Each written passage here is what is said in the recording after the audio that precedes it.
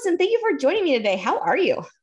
I am super. Thanks for asking. I'm super excited to be here and to chat with you.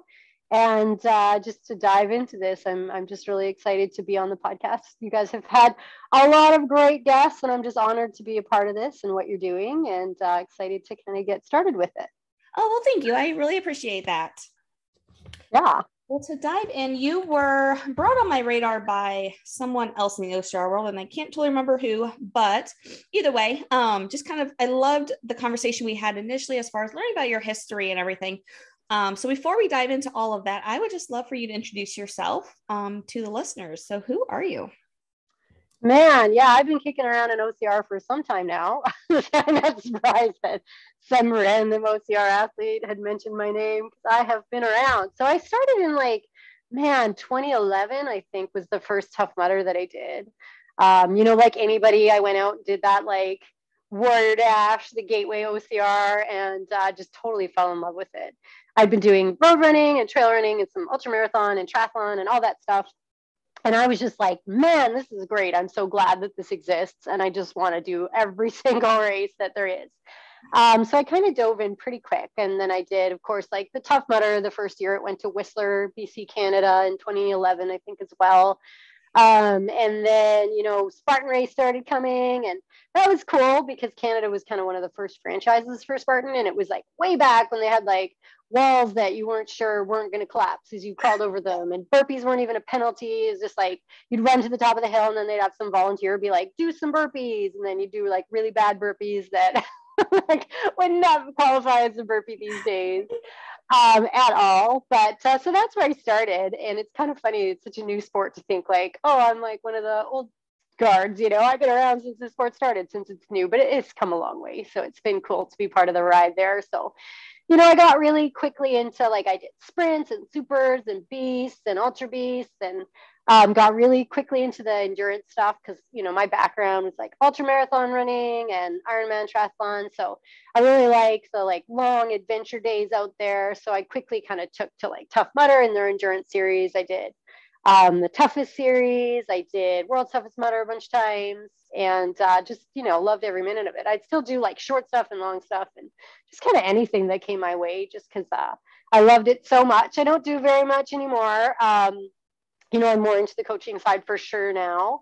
Uh, we just kind of have other projects on the go, but host like obstacle races here at our farm and my husband sets them up for school. So we still you know like we have a rig and walls and all that stuff right in the backyard. So still a big part of my life and obviously part of my perfect um, but uh, definitely uh, nowadays especially it's just hard to get around and, and do those races. So looking forward to that kicking back up a little bit in canada. But uh, it's just great to just continue to be a part of this like amazing sport that we all know and love and that just kind of keeps changing and getting better hey awesome. Awesome.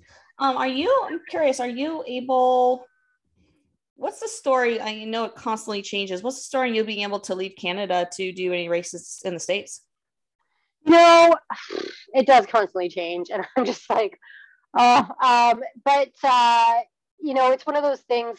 I think November is when they first opened up the border. There was some like you could get across, but then people would get stuck continuously. Um, so right now, I believe that it is open, but it's very hard to travel because airlines are short staffed and then there's all this testing protocol. So it's just like oh man i'm just not unless i absolutely have to go somewhere am i going there? So um, it's just a really big thing. And you know we have a bunch of animals here on the farm and two young ones and stuff like that. So um, you know maybe if i was young and single and didn't have any animals and all that stuff uh, I might be a little bit more inclined to travel, but it just comes with such a big risk with all of those uncertainties that uh, I have not done any traveling. And then, of course, because I'm from British Columbia, um, you know, we had 120 degree Fahrenheit days on days and no rain and tons of fires. And the closest city here actually burnt down right to the crisp um, like right down to the floor in the summer. It's awful with the heat dome. And then we had these floods that wiped out like just huge swaths of the nearby cities and took out our road system and all that stuff. And then we had, you know, like four feet of snow drop. just and we're not in a, you know, people like, you're from Canada, don't you get snow? But not lots of snow for sure where we're from on the west coast here. It's it's um, pretty uh, unique how much snow we just got, and then um, that's all melting, and we're going to have another atmospheric river, so tons more rain and avalanches and mudslides. So you know, even if it wasn't with the COVID, just with the amount of um, un- uncertain natural disasters, any kind of travel becomes pretty out of the question at this point. So definitely sounds like it. You know what? All this OCR training, I swear goodness, it is paying off. Like I'm shoveling like big, wet, heavy snow drifts off roofs and stuff. And I'm like, man, if I didn't do OCR, I couldn't climb up onto this roof and spend, you know, four hours pushing snow and still be okay with life, you know? And just like, it just teaches you to have, like, my friend came over the other day and he does uh, obstacle course racing as well. And, you know, we're just joking around and like appreciating the, the workout, um, the strong workout of, of pushing snow off roofs and stuff. So it's just like, it kind of just changes your perspective, even just to these like obstacles that you run into in everyday life. It's pretty profound, right? That, you know, it just changes the way that you think and that you approach life and just what you're capable of doing. And, and that's, that's pretty amazing, right? That the sport has given me so much. So, yeah, that's awesome. And I think it's a great way to look at it too. Cause like, yes, it's a sport, we compete, but um, there's just so much carryover to function in life that it's it's pretty awesome to see that. Oh my gosh, yeah, like for a runner to climb up on a roof, that's you know, and like push snow all day, they're gonna get sore in all kinds of ways. But we're carrying stuff, we're climbing on stuff, you know, like we have the cardiovascular fitness. Like it's just like it's so cool because it's so functional and it just has all of the components to being like a capable human being, right? Woven into the training. Um, and so, you know, it's it's just kind of one of those things that if you have a background in a certain sport, you know, soccer or whatever, you're going to be good at like sprinting and kicking a ball and stuff like that. But if you're good at OCR, it's like anything that confronts you in life, you're going to have some ability to manage, or even just like adventures. You want to go out and do any kind of sport or any kind of adventure in the mountains or the woods or whatever, you're going to be better able to like manage yourself out there and, and better able to just have a good time because you're just so functional. Like we may not be good like great at any one thing but we're pretty darn good at most things right? Just from being exposed to so much and training through so much. So i just think that's like the coolest part of it. Yeah that's awesome. Well let's back up a little bit because you definitely went through a period in your life when you were not this functional and not climbing on roofs to shovel snow off of them. Um, yeah. Because you were in a pretty traumatic accident. So I want to back up to that and just kind of, you know, talk about that, not necessarily the details of the accident, but more of the recovery process, just because from where you were and kind of the everything you went through through that process is pretty phenomenal to see then where you are today. So I would love for you to share some of that story with us. All right, done. Um, so yeah, just the long story short. So it's hard to make a long story short when you're as wordy as I am. But um, I was riding my bicycle training for a triathlon. So I was riding like a, a triathlon bike, a road bike, down the highway, and I got rear-ended by somebody who was speeding on the highway. So going out over like 100 kilometers, 60 miles an hour, kind of thing. He was looking down at his radio dial and he rear-ended me. Um, thankfully, I was on a titanium bike, um, you know, I didn't lose my life as I probably would have if I was riding like a carbon frame or something. But uh, I ended up ba- breaking my back and uh, being put in a full body cast, like a clamshell, for you know about half a year, and then breaking my pelvis. I had kind of a dancer's avulsion fracture, so it's basically where my leg just kind of popped off of my uh, pelvis. I was trying to slow myself down when I was bum sliding in the ditch at a million miles an hour. I just went pop out to the side. Um, and then I broke my arm. I had a compound fracture, so the bones came out. And the next guy that came on the highway actually like held my bones into my arm. I'm like, oh my god, I, there's no way I'd be able to do that. What a what a hero that guy was. Um, and then obviously messed up my shoulder a bunch with soft tissue and, and neck and stuff like that. So, um, you know, some some definite bone injury happening there. Lots of soft tissue stuff, and uh, just a total upheaval of what I had known as life up to that point. You know, I was young and doing triathlon and, you know, just feeling really great about my fitness and, and where I was and how capable I was in life.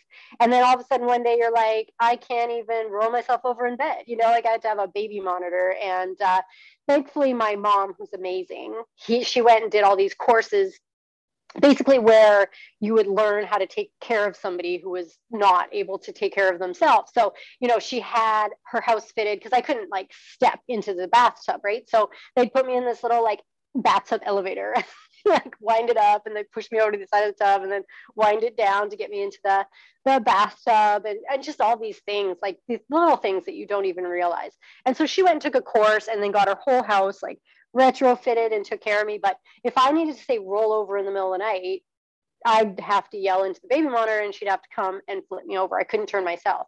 And so it's like things like that that you don't even like take into account when you're like a super able-bodied person how uncomfortable that is when you're like oh my god all the blood is rolling right to one side of my body and i cannot even do anything about it i'm just so like fragile as a human being but um, i was so well supported and you know my mom really was amazing and really kept um, the optimism going for me and really kept me interested in other things. That's when I went and did my fitness certification and nutrition certification and all that stuff and kind of deep, you know, kind of jumped into the world of helping other people. You know, when you're in that kind of situation, you almost feel so helpless but it's it's was really, really insightful of her and just amazing of her to find that motivation for me to keep going was in helping other people. So, you know, that worked out really well just in terms of keeping me positive and stuff. And then just embracing all the little challenges. Like, you know, as a endurance athlete, I mean, we love challenge, don't we? And we love overcoming it. And now all of a sudden my life was so full of challenges, every little thing. Um, I had a cast from my very middle, the very end of my middle finger all the way up to my shoulder. It had to be like specially made because I had busted through my radial nerve and I had no feeling at all in that arm. And um, yeah, so I had that on the one side, and then I had the broken hip on the other side. So I had a crutch on that side, and then I had the cast and the full body cast for my torso. And I mean, I was pretty immobile and, and it was pretty tough because one hand's on a crutch, one hand is totally dead from nerve damage. So um, trying to like figure out how to do things creatively um, and just kind of overcome the, the little daily challenges that just mount up so quickly when you just um, you know you're stuck in this new body that that has um, just a constant barrage of difficulties uh, was a really eye-opening experience and one that you know I, I definitely wouldn't wish upon anybody but um, it was one that I would never trade. What was so going from there like what was that process like? Because obviously you were very much bedridden for the most part um, and then eventually you got yourself back to being able to do ocrs um, and i mean this was obviously before your ocr time too. So what was that process like the the rehab process and like just trying to get back to function again let alone running again um, throughout that? Yeah um so before that, I was really into triathlon, and I had always kind of imagined myself going back into triathlon. Um, I obviously came with some fear hesitancy on the bike, um, so it was it was really tough. Like I could ride a trainer indoors, obviously fine, but you'd get me out on the road, and I'd just be like a total basket case if somebody came too close, or um, you know, I heard a car coming off beside me, I'd just throw myself in the ditch. um, you know, it, it, was very hard to get back on the bike and be comfortable training. Um, so that, you know, kind of shut down the, the cycling portion for me. And then with swimming, I had such bad nerve damage. I was trying to, you know, read like how people have made different swimming braces and stuff, and I just couldn't rig up anything. Like um, so basically, when I hit the water, my hand would just be like a dead weight. So no matter what I kind of rigged up, it would stop and like I'd push myself back into the water as soon as that arm went in. So it was really frustrating. And at that point in my life, they weren't totally sure that that arm would ever regain feeling um, or movement. So it's kind of one of those things where the swimming and the biking wasn't working and i did really love running and that was always my love uh, even when it came to triathlon is i was always looking forward to getting off the bike and getting to go for a run so i was like you know what? Let's just focus in on the running because that's really the piece that's working best for me now.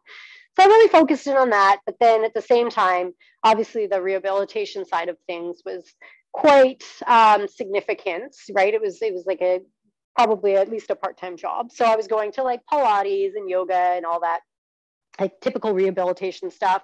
And then I started doing more strength work in the gym. And I found that to be like really, really immensely helpful. I know um, the back surgeons and stuff really cautioned against lifting anything more than 10 pounds and you know the impact of running they were very concerned with but i felt better if i was doing heavy heavy deadlifts and and you know heavy squats and stuff my back just felt better it felt stronger um, and so i just kind of continued down that path and started doing more in the gym for sure i started going to crossfit um, especially after I had my older daughter, you know, there was like the mom's CrossFit class, and I was like, hey, these pull up things are kind of fun. And um, so started getting into it that way and then was coaching running. And uh, the lady that owned the running store was like, there's this warrior dash thing. And I was like, oh, I'm a real runner. I don't want to, I don't want to do that. and she was like, no, no, do it. It'll be fun. I was like, ah, oh, fine. This is so lame. And then I went out and I was like, this is the most fun thing I have ever done. And we went as a big group. So there was a lot of like waiting around at obstacles and, and whatnot. But, you know, it was just like ridiculous. I just had a smile on my face, was laughing the whole time. And I was like, I don't care if I consider myself to be a real runner or not. This is what I want to be doing. And uh, so I just kind of fell in that way, right? And, and just the constant challenge of it all, I really like. There's always something that you can be working on. There's always something that you're new at and that you're not so good at. Um, so it's one of those, it's like, I don't know very many sports that are like this, but it's one of those um, you know the things that you can dedicate your life to that things are constantly always going to challenge you and they're always changing and you are always going to have something to work at. Um, and not just like at the upper margins right? Like sometimes like with running you're like oh i'd really like to take four seconds off my 10k time. It's like you're eking away at little margins. But with ocr it's like man if you can get like better lock off or if you can you know um, get strong can take significant chunks of time out just because there's so much involved, right? And that just kind of arcs back to the fact that there's so many components and so many skills and so many strengths involved that it really prepares you for almost anything that you want to do in life or have to do in life. Mm-hmm, absolutely.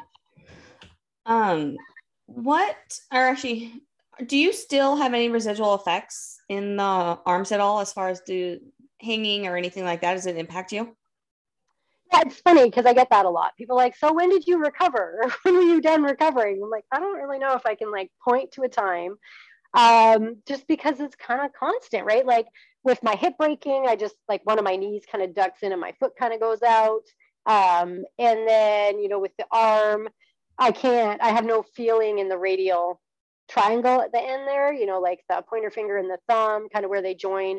I can feel it. Like if something touches me, I know something touched me. I just don't know, um, you know, if it's an ice cube or if it's like a lit match. I can't tell the difference because it's just the feeling's bad. Um, and then I'm just, I'm not as strong grabbing with that hand, but even though I can't really feel stuff as good, I'm pretty surprised really at how my grip isn't that much worse. I remember when I started OCR, it was a big thing when I'd come into a ring, a rig, sorry, if there was a challenging hold, I'd have to place like my hands properly in terms of getting my good hand on the harder hold. And now less so, you know, it's not necessarily as strong, but I'm not as stressed out about it. Um, and it, it, it's surprising really how the body adapts. it's it's pretty amazing that way, right? You know, like back tightness and stuff, you just got to get on on it like anything else. And I think even though I have broken my back and, and that I have some like residual stuff and tightness in my back and I can, you know, feel it pinch if I move funny or whatever. I sedentary probably has a lot more back pain than I do for sure. So I think it just comes down to to keep staying moving. And you know, we all have little tweaks and nigglies and quirks in our body, and it's it's really just about making the best of what you have and the body really responds to that and goes a long way no matter what you have under the surface you know? Um, you can always make it better. So i think you know we all have that stuff but just do your best to make it better and uh, you'll be surprised at how well your body responds to that.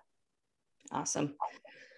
I'm curious because um, you mentioned yourself like the doctors didn't want you lifting over a certain amount because of your back and everything. What and i know like that a lot of people are told that by their physicians. What was it that made you decide like it's okay to lift heavier or at least I'm going to challenge myself? Um, was it someone that someone else that you talked to that told you that or was just kind of your mindset about like challenge the body? What what was that like?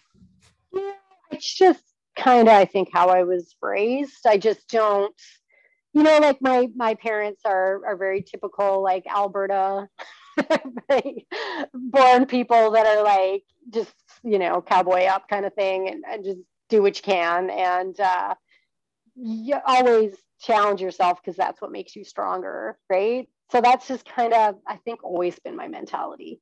Um, just in terms of like doing what i can and what i know that i can.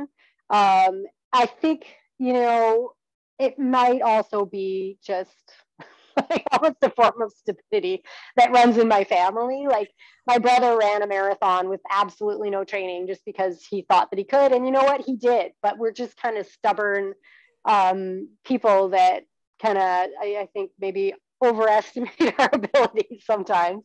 Um, but that's just kind of how we were raised to do things. Like if somebody else can do it, why can't you? Forget the fact that you broke your back or you've never run before. Of course, you can run a marathon tomorrow. You know, like probably just a little crazy is what it comes down to but and it wasn't like i was like okay the doctor said i couldn't lift more than 10 pounds so i'm going to go deadlift as much as i can you know it was a slow progression for sure but i, I think i just never really you know i heard it but I, I just never really took stock in it I know one of them was like, "Oh, have you ever heard of ballroom dancing? Because I think ballroom dancing is where it's at for you." And I was like, "I don't think that's where it's at for me. I want to go lift heavy things and run around." Um, and uh, you know you just get reinforced by like hey this feels right. Like I, my body feels much better moving than it does sitting still. Like the worst i could do for my back i swear to goodness is just sit around. Um, because it just gets tight and sore and just miserable and all i can think of is how much my back hurts. But if i keep moving i mean it's really fine. I might have a little bit of tightness here or there but um, it's really the i hate the the cheesy line but movement really is medicine. I mean bodies are just meant to move. They are not meant to sit stagnant. And they just will adapt to kind of whatever you throw at them as long as you introduce it intelligently right?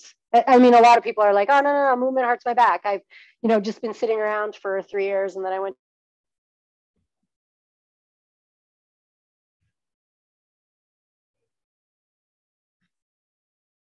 meant to respond to what you introduce it to. And if you do that in a smart way, then it's just the way that bodies are meant to be. And, and you'll experience so much less pain. And, you know, that strength will carry over to everything that you do in life. Yeah, absolutely.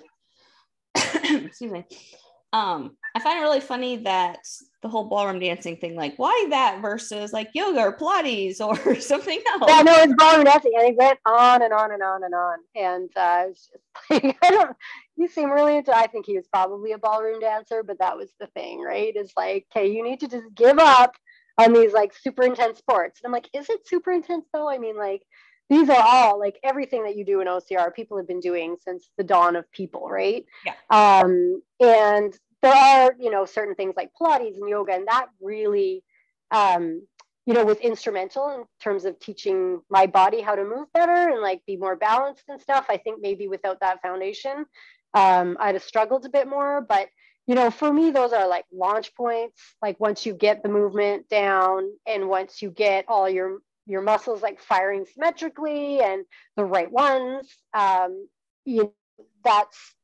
use that then to like do things that humans do in life right? Um, and and i think you know like especially with the pilates or whatever in terms of like learning how to activate your core and all that stuff i mean translate those movements then to things that you know you want to be doing and, and, challenging movements. It's fine people like get into pilates and they stay there for life but for me it really is just like the foundation of how you should be moving and then you know you move forward with that and those are your new patterns for every single time that you move your body. Yeah absolutely. I'm curious um so obviously you are you're a coach now you do a lot of like that's where your focus is. How does or does the you know the trauma that you went through the rehab process the everything that you did to rebuild that base rebuild where you're up how did that all impact like how you function now as a coach how you program and talk to people and and all that you know it's kind of hard because you know i was never into fitness as a child. I was terribly slow, and I there's nothing that comes naturally to me in terms of body movement at all. Like I'm just clumsy and, um, you know, I'm not fast or any of that stuff. I'm not powerful. I'm not, you know, like a natural athletic person. And we all know those people. I'm somebody that came to it and, you know, really had to fight my way into any sort of athleticism. It was just a lot of work. So, you know, I think even without the accident that I probably get it. You know, a lot of people see somebody that's done decently well in athletics or whatever, and uh, they think, oh, they must have been born like that. Like they, they came out of the womb running and doing all this stuff. And my gosh, I couldn't do a pull up. I couldn't run five kilometers like as an adult, as an early adult. It was only when I went back to school and college and I started to, you know, jog and stuff that I found that. So, you know, I think uh, even without the accident, I just understand the process of getting fitter and I understand the process of like the proper progression from like zero to you know your best self so to speak. But everybody kind of starts from wherever they start and that you kind of move slowly through those levels. And i think sometimes if somebody is one of those natural athletes they may kind of miss some of those. And like just the feeling of how hard everything is and how far off you seem from doing anything. And that's actually why i love what I do is because those feelings are so recent for me, right? Like I the thought of even like walking across the streets to me in 2006 after I got hit was like unbelievable. Like I'm like someday I will walk across the street, you know, someday I will be able to do a pair of jeans up. Like those are things that are like pie in the sky crazy goals for me at that point. So, like, for even those little things to just seem so far away, I see the same thing in my clients in terms of like, you know, man, doing a pull up, that is so far off. That is so far away. And that's why it's worth doing, right? It's because now when you finally do that pull up, and if you do the work, you will. I've seen it a thousand times. You know, I've been there where I'm like, there's no way I'm ever going to be able to do a pull up. And then I'm like, wow, when did this happen that I could do like so many pull ups and they just seem easy? Um, but that process is just magical. And it's cool to be able to walk through that with people because, you know, I'm constantly on the hunt for more um, more challenges that will make me feel that. But to be able to feel that with my clients as they walk through that process of becoming that new person, of doing things that they, to their core, don't think that they're capable of doing is just incredible. It's like nothing else. Like that is the secret to loving life is just to find things that are too hard for you to do that you don't think you'll ever be able to do and then to do them. That's awesome. Yeah. Do you tend uh, actually I'm going to change change question. I just remember something else I want to talk to you about.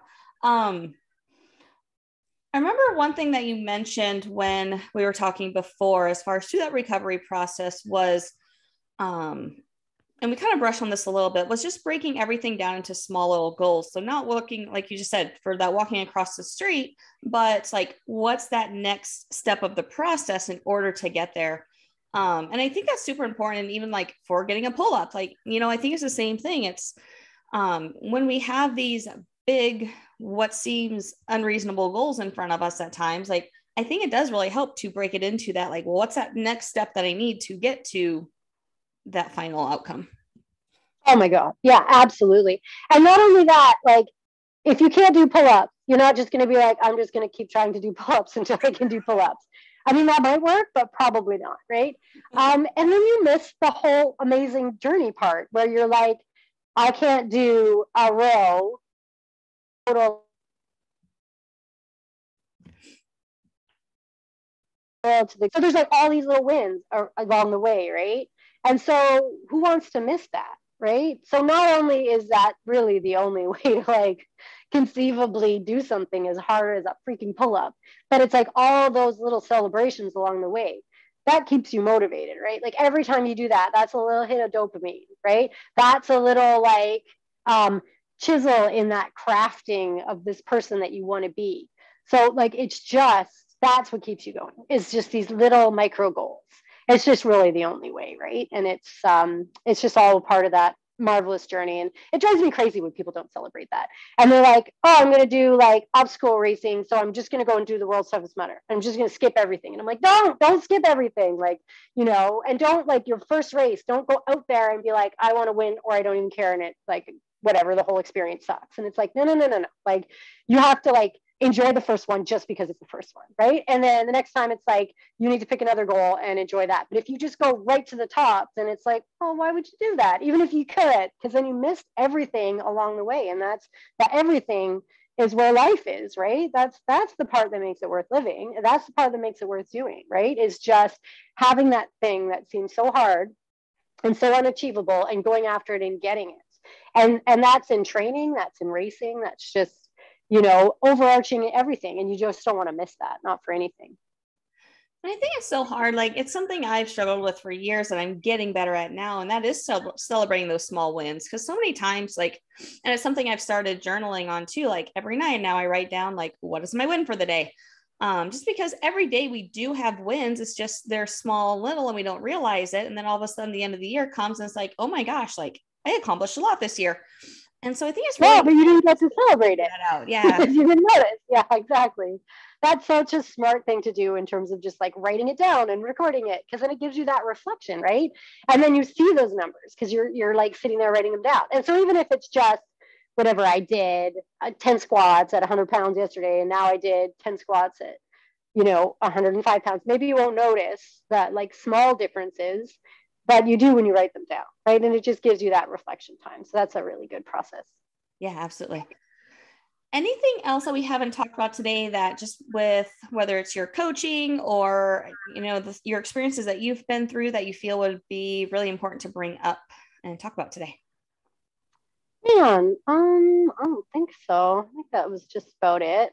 Yeah, I don't know. It's just it's like really one of those things that I miss being a beginner in OCR, right? And I, I love the fact that I was around for the time I was around and it was the beginning and everything. But, you know, I think people just forget to just savor every second of being a beginner in a sport um, and how special and how magical that is. Because by the time you've done it enough, you're never going to get those days back, right? It's like having little kids or anything that it's just real easy to get too wound up in everything and just miss all of those like little moments and those little celebrations and uh, just being new at something and having a new experience right? Um, so yeah i just you know i always try to recommend to people that they really savor every second of that because it that is really where it's at. Beautiful. Well if someone wants to talk to you if they have questions for you if they just want to follow your journey where can they find you um, you can find me at Facebook, Allison Tai. I don't think there's any more of me. So A L L I S O N T A I. Um, you know, I have a website, allisontai.ca, I think is the easiest one. Um, and then I am on Instagram. I think it's Grit Farm Fitness, which is my farm here. Um, and then it's there are periods between them. Uh, so Grit Farm Fitness. I'm really bad at Instagram messages though, so send me one there. Send me one on Facebook uh, definitely showing my age. Uh, but yeah, any of those ways, reach out. Uh, there's not too many Allison Tais, so I think even if you Googled it, I'll come up somewhere. That's awesome. Sounds good. well, Allison, thank you so much for your time today. It's really great talking with you and hearing more about your story. Yeah, you too. Thanks for the time. This was great.